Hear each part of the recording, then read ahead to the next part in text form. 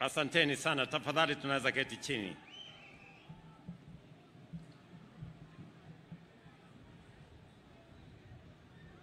The great people of Uasin Gishu County, the residents of Eldoret City, ndugu viongozi wote wenzangu, wananchi, hamjambo? Hamjambo tena. Bwana Yesu asifiwe. Chamgei. Omune. We are here gathered to participate in and witness an event of singular importance and the culmination of more than a century of growth, not just in Eldoret town, but in Uasin Gishu and the entire North Rift region.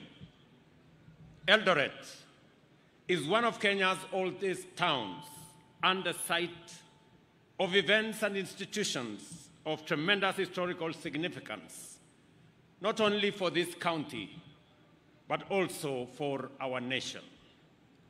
An important facet of Kenya's political and economic history is encapsulated in the urban center famously named 64 because of plot number 64 on which stood the Eldoret railway station.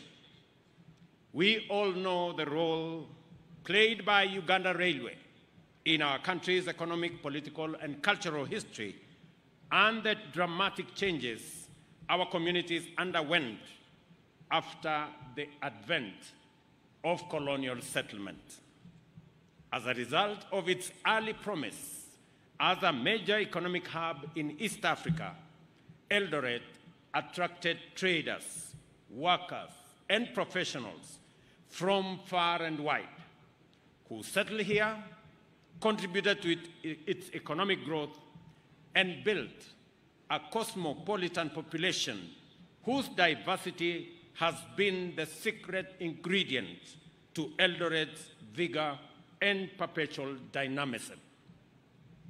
This place bears visible imprints of the legacy of people from India, South Africa, and Britain, as well as every Kenyan community who settled here and made it their beloved home.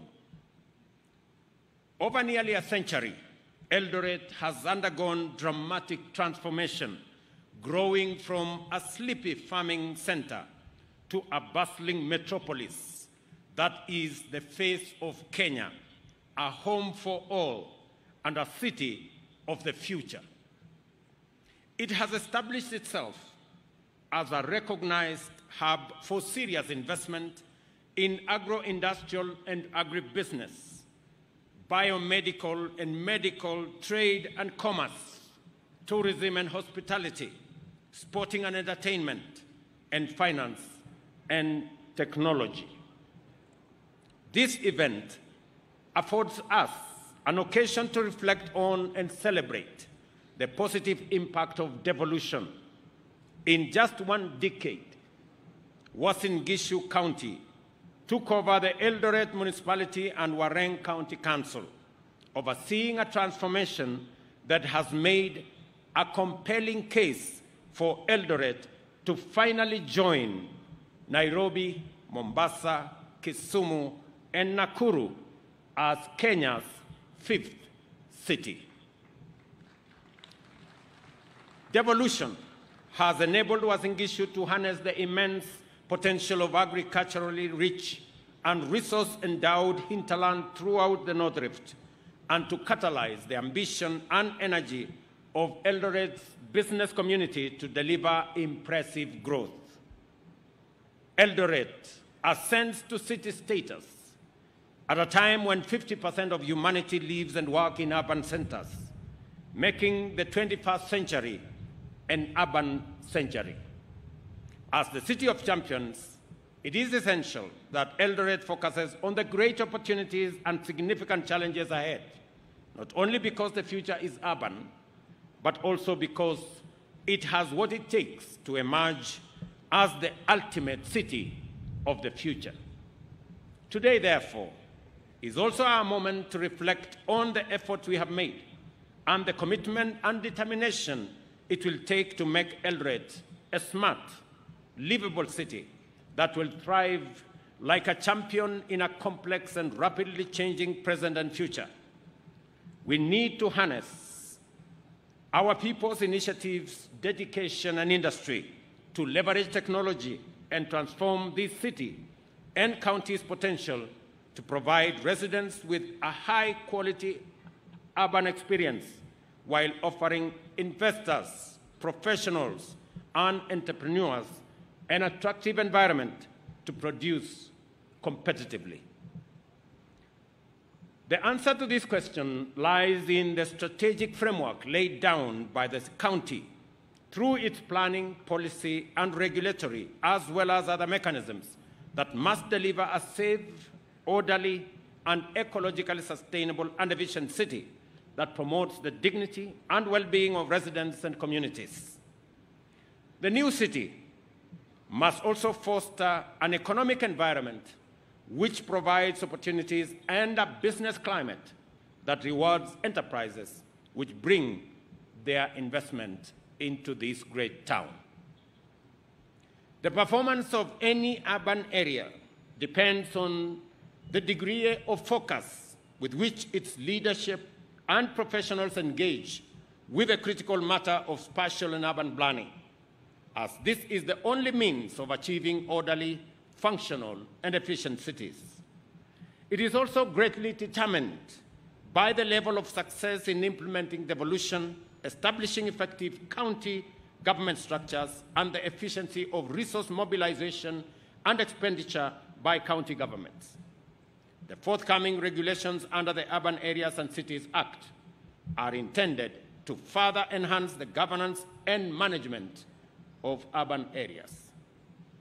At the same time, ongoing partnerships and collaborations have enabled us make progress in identifying and addressing critical priorities related to urban governance, infrastructure development, and the development of mechanisms to promote development and sustainability. I have in mind such initiatives as the Kenya Urban Government, commonly known as, known as KENUP, and the Kenya Urban Support Program, Phase 2, which represents a cumulative investment of US dollars 1.35 billion aimed at creating livable cities. And I want to declare that Eldoret will be among the beneficiaries of this fund. Eldoret will benefit significantly from these initiatives, which focus on infrastructural investment, such as waste management, connectivity, and social infrastructure. Similarly, Eldoret is also benefiting from the various national government projects, including the ongoing construction of Eldoret Central Market, the whole infrastructure around housing. And I am happy to say that close to 10,000 housing units are currently underway, under construction in Eldoret City, from Kidiwa to Pioneer to Kimumu and many other areas.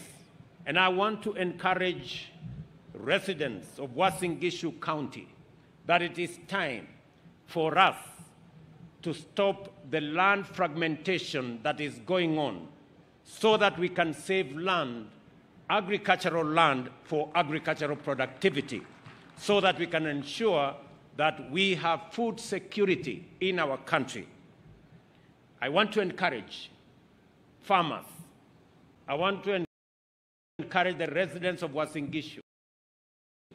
As has been said, this town was built by farmers.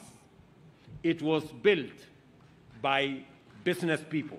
It was built by professionals, but that charge was laid by farmers.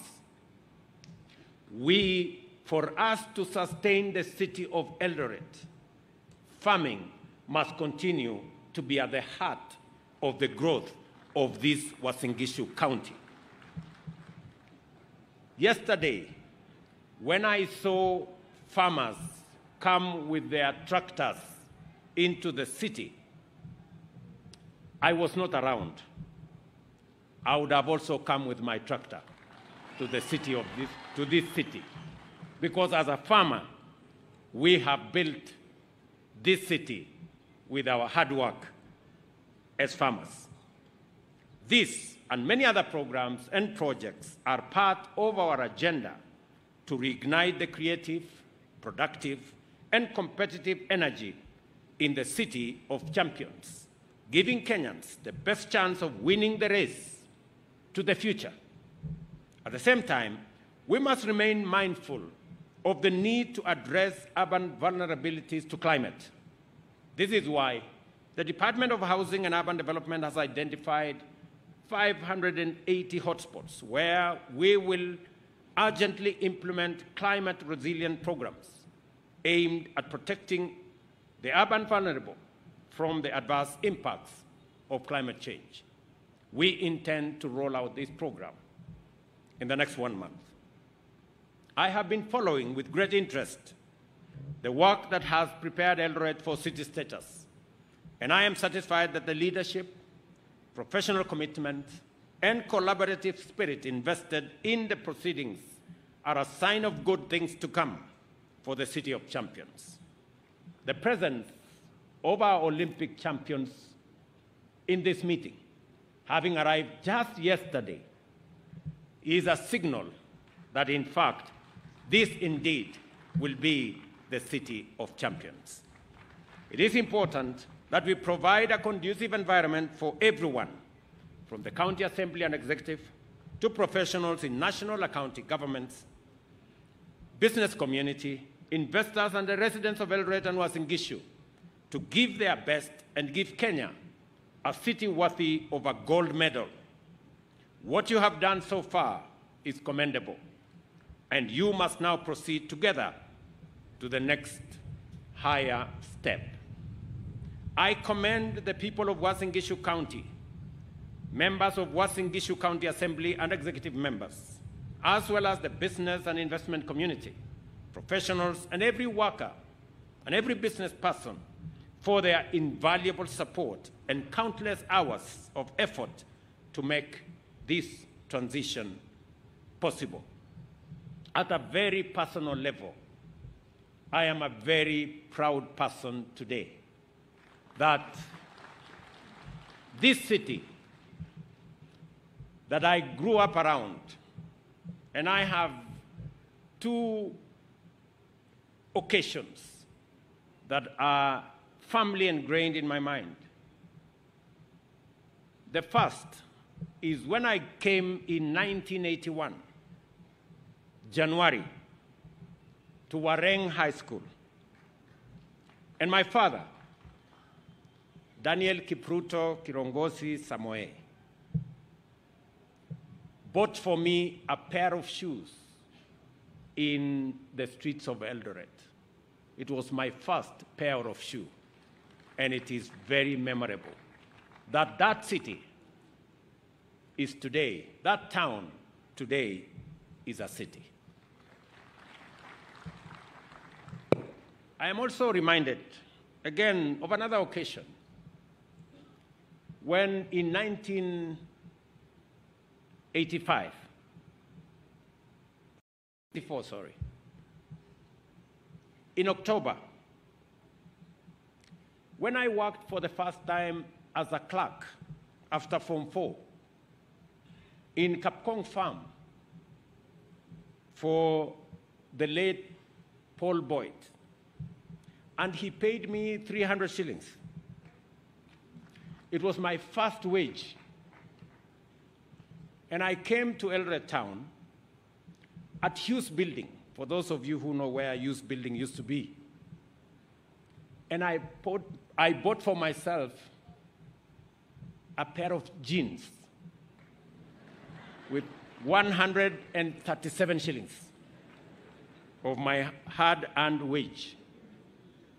It is a moment I remember that it was my first time to walk into a shop and buy a brand new pair of jeans. That is the city, that is the town that today has graduated after immense hard work, commitment, drive by farmers, by business people, by sportsmen and women who have contributed significantly to the growth of this city. And today, we celebrate the city of Eldoret. Finally, I am reminded, because this is my hometown, that just behind here, when I first ran for a member of parliament, I didn't have a house. And it was a big problem because many people said this man will run away once we elect him because we, know, we don't know where to find him.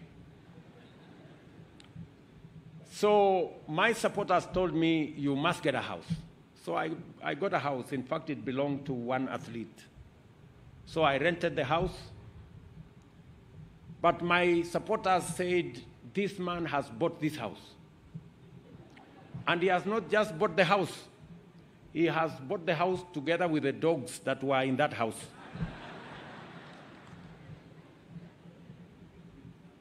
just to signify how uh, uh, I had, you know, the ability to be around. And the rest is history. So I am truly proud to be part of this ceremony. Even if I wasn't president, I would have attended this meeting because it is such an important meeting for the city that I call home. Ladies and gentlemen, I know I've digressed. It's an emotional moment for me. Uh, I rarely do this, but this is home. It is now my singular honor and present duty, by the authority vested in me by Section 12 of the Urban Areas and Cities Act, to officially confer city status upon the city of Eldoret. Congratulations. Thank you very much. God bless you. God bless our great country, Kenya. Asanteni sana. Pongezi. Thank you, Excellency. Let's give him another round of applause as we now stand up to wind up with.